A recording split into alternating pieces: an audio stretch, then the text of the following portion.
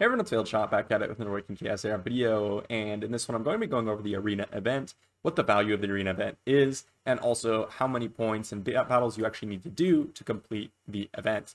So I do this every time. If you enjoy this content, be sure to subscribe to the channel, like the video, and we're going to jump into the arena event now.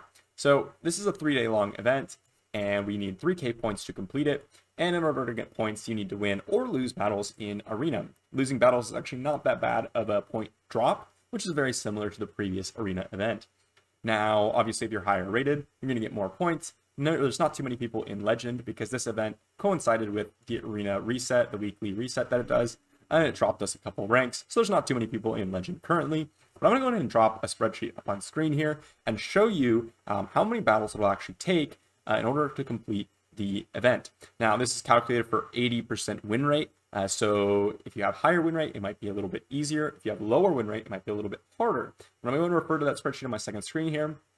So you actually need, you actually get 72 battle uh, arena passes per three days. So you're gonna get 24 per day. So you get 72 over the total of the event. So that means you're gonna need 34 passes in order to finish in bronze uh, because you're going to get 2,050 points in those 72 arena battles. And then you're going to need 27 passes in silver, 21 passes in gold, uh, 15 passes in platinum, and 11 passes in diamond in order to finish the event. Again, all those point values uh, that are totaled on top of those passes needed is based on the 72 arena passes that you get during the three days. So if you're using the arena passes that you get just naturally, and on top of the packs that you get from you know just farming regularly you actually don't need that many packs. Um, if you're in bronze you're gonna need about seven to eight uh, depending if you lose or win more and then it goes down from there. So if you've been saving them you should have no problems completing the event in just the amount of you know arenas allotted as well as the passes that they give you.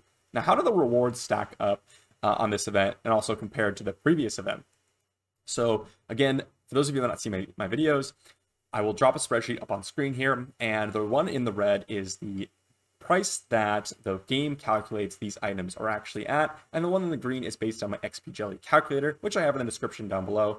It calculates the items based on whether or not you're farming Mythic or later or earlier stages, um, and the value of the pumpkins will increase or decrease based on where you're farming. So they have decreased value in this case because we're calculating for Mythic. So for this event, the total comes out to about 1,200 diamonds uh, on my calculator and about 1,680 diamonds uh, from the game's base price, which is actually pretty solid. Um, this is very similar rewards to the previous event um, that a lot of people were unhappy about. Um, but, you know, we're getting a Stardust here, we're getting quite a bit of pumpkins, and we're getting some XP boost, so some solid rewards here, as well as the event tokens, which are always, always nice um, for those of you that are wanting to get some Aurochs out there. Now, how does this compare to the previous arena event? So I'm going to drop that one up on screen right beneath the uh, one that's on screen right now. And it comes out to actually 1,550 diamonds in the red for the previous event and 1,066 diamonds um, from the previous event for my calculator. And one of the big reasons for this is the previous event didn't actually not have Stardust in it, and as well didn't have as many pumpkins in it. So the, this event is actually better than the previous event in terms of diamond value and the rewards we're getting. So for those of you that were, you know, wondering about the trend of the events and such and worried about it, again, that previous gear enhancement event was an anomaly uh, from my data. I've cataloged every single event so far. And this, again, isn't too much far above the average. This is pretty close to the average. Some events are going to be a little bit better, and some are going to be a little bit worse uh, in terms of diamond value. So this is pretty on par with the events that I've been covering, and I'm not surprised that it's slightly more, but it's nice to see always when they do a little bit increased rewards for some of these events, especially since the arena event is one of the harder ones to complete because you just need to do a ton of battles, and uh, you know sometimes you're just going to lose a bunch in order to finish the event. so hopefully that's in, uh, helpful for you all in order to complete the event on time and whether or not you actually want to complete the event.